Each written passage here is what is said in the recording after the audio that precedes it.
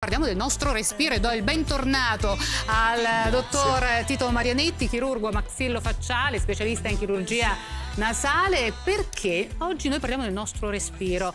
E beh, voi in questo momento che ci state eh, seguendo, provate, allora fermatevi un attimo, provate a respirare.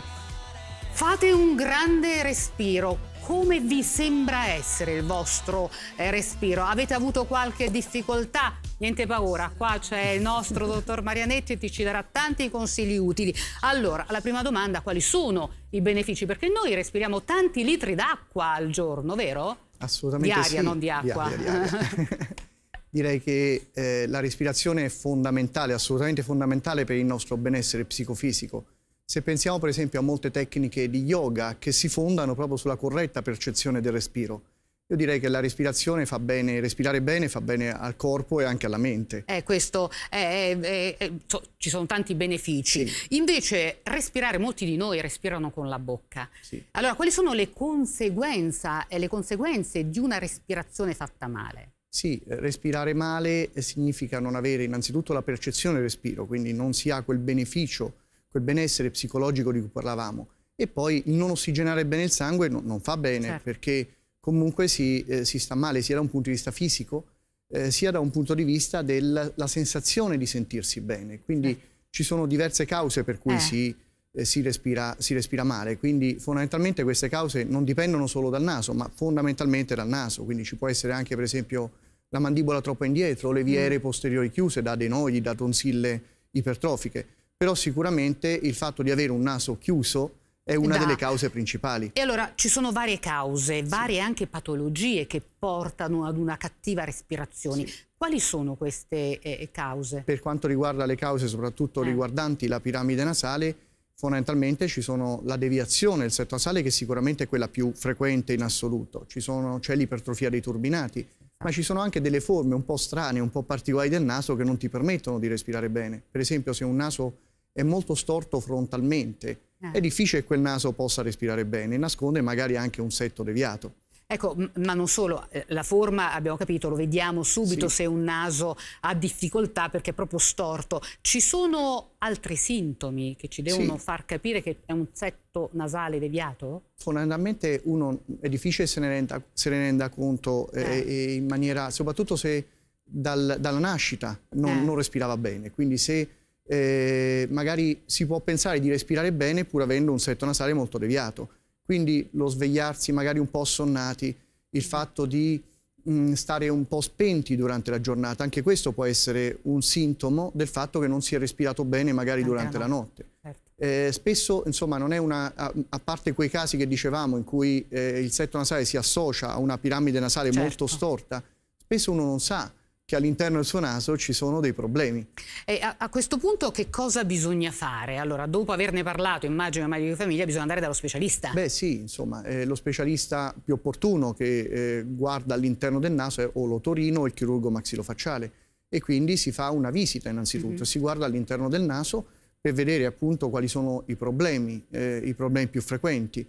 Poi si può anche andare avanti con le analisi, con le indagini, quindi fondamentalmente fare una TAC, Mm. fare una fibroscopia nasale e quindi Ci gradualmente... sono dunque gradualmente anche degli ci esami sono- diagnostici che si possono Esattamente, fare ci sono gli esami diagnostici, però la prima cosa è una visita, perché poi Ok. dalla visita basta guardare all'interno nasale con uno speculum Certo. nasale e già si comprende, si riesce a vedere tante tante cose all'interno del naso. E a questo punto che cosa bisogna fare? Eh, bisogna fare, e bisogna prima capire qual è il problema, una volta capito il problema, se il, il problema è un problema strutturale del naso, come può essere una deviazione del setto nasale, non c'è eh, Intervento. via eh, che, alternativa all'intervento. E l'intervento può essere un intervento o di settoplastica, che riguarda esclusivamente appunto l'intervento sul setto nasale, o di settorinoplastica se uno per esempio deve correggere anche un naso nasale, Mm. un naso storto. Certo. E eh, in questo caso, diciamo, l'estetica e la funzione diventano due facce della stessa medaglia. Allora, qui la domanda, 100 milioni di dollari è un intervento, invece quando si parla sempre di interventi, insomma Sì. le persone hanno come dire, difficoltà anche ad Certo, approcciarsi a un intervento, sì. no? E allora è molto invasivo questo tipo di non intervento? così tanto, non come si pensa. Per esempio, quando si deve intervenire sull'osso, spesso i pazienti pensano che sia particolarmente doloroso Esatto. il post operatorio. Non è così. Nessuno sente dolore, prende neanche una tachipirina dopo l'intervento. Ah. Quindi diventa un intervento oggi con le tecniche ovviamente più recenti che ci sono, molto meno invasivo rispetto al passato. Mm. Ci sarà qualche lividino, ci sarà la sensazione di non respirare bene per i primi giorni, ma tutto qui, non ci sono grandissimi problemi dopo l'intervento.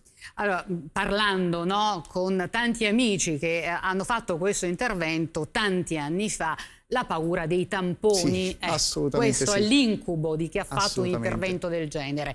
Allora, i tamponi danno davvero così fastidio? Si danno, usano ancora i tamponi? Danno estremamente fastidio i tamponi, però si possono non usare. Ci sono tante tecniche recenti che permettono oggi di non usare più i tamponi nel naso. E questo è un grandissimo vantaggio perché poi i tamponi erano associati al dolore, quindi quando si è sentito dire da amici, da parenti mm, che esatto. hanno fatto esatto. tanto tempo fa dolore forte, dolore quando ho tolto i tamponi, tanti aneddoti anche squallidi su questo argomento, in realtà è solo il fatto che venivano messi i tamponi.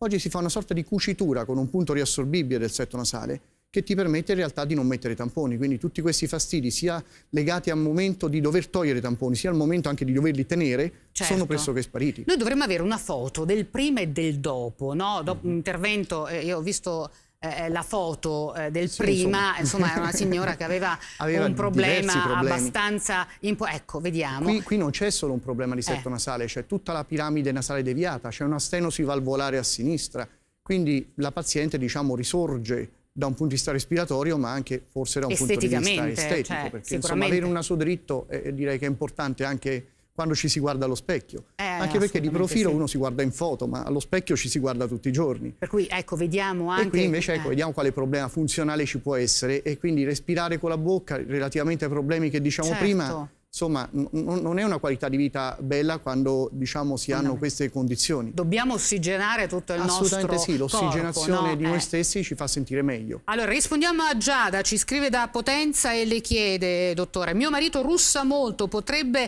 essere colpa del setto nasale deviato? Grazie. Cosa sì, dovrebbe fare il marito di Giada a questo punto? Potrebbe essere colpa eh, del setto nasale, ma non solo, perché poi eh, bisogna indagare. Il russamento è legato certo. anche al naso, ma può essere un problema del baselingua, della, mm. delle tonsille, del, del, di un lumere ristretto, quindi non mm. solo il naso, però insomma il naso ha una buona parte, quindi deve fare una visita e soprattutto deve indagare sul fatto che sia solo russamento, in quel caso il problema sarebbe di Giada, esatto. il, se invece diciamo, eh, ha anche apnee mm. associate al russamento, allora il problema diventa del marito, perché le apnee sono associate a un maggiore rischio di eventi cardiovascolari e allora lì bisogna indagare maggiormente questo problema, magari con una polisonnografia, che è mm. un'indagine che ti indaga come Dormi. respiri durante il sonno, come ossigeni il sangue durante certo. il sonno. E qui può essere importante perché potrebbe essere necessario magari risolvere quel problema anche per la salute diciamo cardiovascolare, non solo per la salute nasale di quella persona. È importante, insomma, magari con il nostro marito, il nostro compagno, insomma, eh, capire esattamente se dorme bene oppure dorme ha bene. difficoltà di respirazione. Assolutamente, no? perché, perché a volte si rimane in apnea durante si russa, poi a un certo punto ci si blocca e si rimane in apnea. Quello è un problema. Allora, sono tanti i nostri eh, amici che ci hanno scritto, appena hanno saputo che noi parlavamo di problemi di respirazione, allora rispondiamo ad Andrea che ci scrive da Sondrio e ci chiede ho il setto nasale deviato, per dormire meglio posso usare i cerottini nasali? Aiutano? Assolutamente sì, possono mm. aiutare quando però è associato a un problema valvolare, perché se il setto nasale è deviato, immaginiamolo come un muro che divide due stanze, eh, quel muro non si raddrizza con i cerottini, lì ci vuole solo l'intervento per raddrizzare un muro. Ma se diciamo c'è una stenosi a livello mm. del naso, quindi il naso è come se fosse pinzato, come quella ragazza di prima che aveva certo. dalla parte sinistra una stenosi, una sorta di pinzatura, allora i cerottini possono aiutare ad allargare un po'. Eppure per chi ha problemi di russamento sono comodi questi Possono aiutare solo però quando il problema è quello, quindi non si risolve tutto con i cerottini ma possono essere utili a volte. Parliamo, lei prima l'ha accennato, di un'altra patologia che riguarda la cattiva respirazione che è l'ipertrofia dei turbinati, molto sì. diffusa in noi. Eh, eh, che cos'è e come si cura questa ipertrofia? I turbinati, prima dicevamo del setto nasale come un muro, i mm. turbinati sono delle formazioni che sono ai lati del, del setto nasale e si possono ingrandire per diverse ragioni. A volte perché è storto il setto e si parla di ipertrofia compensatoria del turbinato, altre volte semplicemente perché un paziente è allergico. Ah, è allergico ecco, iperreattivo. Questo è il periodo, eh, questo, eh, questo periodo sì, sì, eh. sì, assolutamente sì. E quindi si, ha, si respira male per un'allergia. Quindi diciamo che l'ipertrofia dei turbinati è una delle patologie più frequenti che riguarda il naso. E, e come si curano? Si interviene anche in questo sì, modo? può intervenire o no, nel senso ah. che eh, andare a curare un'allergia con l'intervento significherebbe certo. farti stare bene per 5-6 mesi e poi un'allergia non si cura così, un'allergia si cura con i farmaci. Se invece c'è un'ipertrofia compensatoria, una patologia strutturale del turbinato, allora bisogna correggerla chirurgicamente. Bisogna individuare quali siano diciamo, le cause, ma bisogna sempre tener conto che i turbinati sono una patologia sia medica che chirurgica. Ah. Quindi quando è medica si risolve con farmaci a base di cortisone, di antistaminico, mm -hmm. mai vasocostrittori che fanno male nel naso.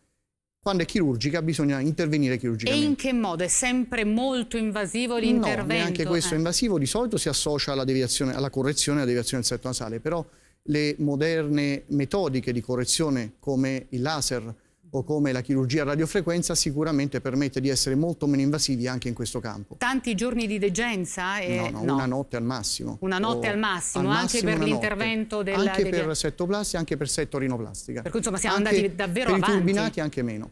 Siamo andati davvero sì. avanti con sì, la ricerca sì. e con questa... Assolutamente eh, sì, questa... e veramente adesso è diventato un intervento che mh, non è più da temere come una volta. L'ultimo consiglio, stiamo vivendo questo periodo, adesso per fortuna insomma il bel tempo è arrivato, il polline nell'aria, a cosa dobbiamo fare attenzione quando respiriamo? Allora sicuramente questo periodo con le mascherine, eh. diciamo, per altre ragioni ahimè, ci permettono di, di evitare un pochino le, eh, le allergie per il resto dell'allergia ci si difende poco, quindi se uno è allergico bisogna che si aiuti con dei farmaci. Per il resto bisogna soltanto avvertire la propria respirazione, vedere se è qualcosa che dà fastidio o meno respirare e cercare eventualmente di migliorarsi anche in questo tipo, senso. No, stavo pensando mantenere pulito il naso, come si fa con i bambini sì. con la soluzione fisiologica. Ecco, anche, con i, anche, con i, grandi, anche lì si può ecco. utilizzare la soluzione fisiologica. Quello, poi tra un po' insomma, andremo al mare e sicuramente il mare aiuterà. Speriamo, grazie, grazie di cuore al dottor Tito Marianetti, grazie per questi eh, consigli.